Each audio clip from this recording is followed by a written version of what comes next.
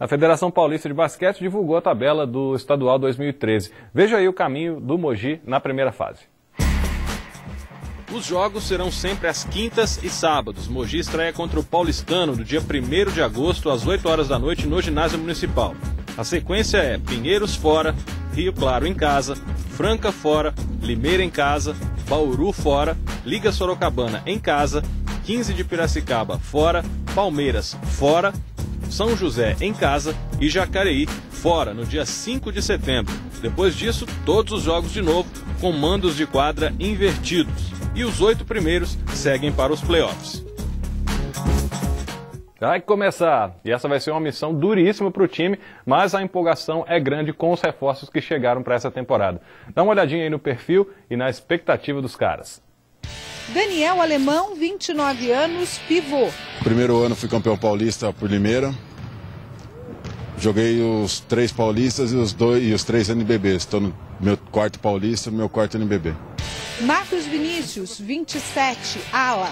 Eu sou americano, com a seleção adulta, né? Sou americano com a seleção cadete, um pré-olímpico com a seleção adulta e bastante convocações, bastante títulos, campeão da Espanha, segunda categoria, um, um acesso né, para a CB, um ano jogando na CB com uma resta. Pedro Macedo, 20, ala pivô. Comecei na minha cidade com 15 anos, lá em São José do Rio Preto. Joguei lá três anos e depois fui para o Pinheiros. Aí no Pinheiros joguei também mais quatro anos e, e depois vim para cá. Treinei lá com adultos, juvenil e vim para cá. As histórias, as conquistas e os caminhos trilhados até aqui são diferentes. Agora todos defendem a mesma camisa, a do Mogi Basquete. Eu vim para somar, para a gente tentar fazer um bom campeonato paulista, fazer um bom NBB. Eu quero conquistar o máximo de títulos que a gente puder, chegar o mais longe nos campeonatos e desenvolver meu jogo. Aproveitar os jogadores experientes que tem aqui, melhorar cada vez mais e ganhar a chance de, de jogar e poder ajudar. Dos 11 jogadores do grupo, sete renovaram o contrato e os novatos chegam com tudo para formar a equipe que vai disputar a temporada 2013 e 2014 pelo time de Mogi das Cruzes.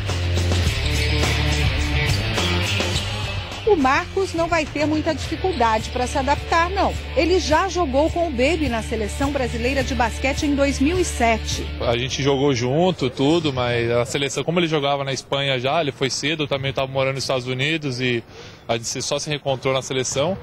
Ah, um jogador de, de força, um lateral agressivo, um cara que vai muito para o rebote de ataque, um cara que vai ajudar bastante a gente lá dentro do garrafão vai ajudar a gente a pegar os rebotes, vai dar, ajudar na troca, marca muito bem, consegue marcar laterais também, cara grande.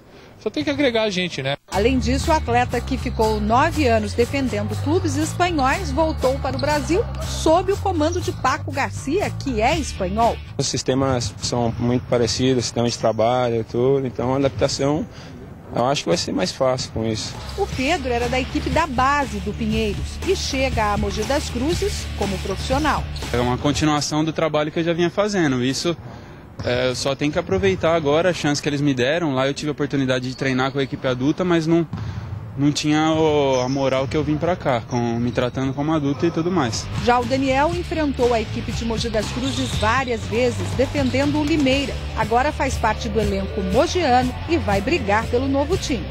O mundo dá volta, a gente não pode nunca fechar a porta, a gente tem que deixar sempre aberta.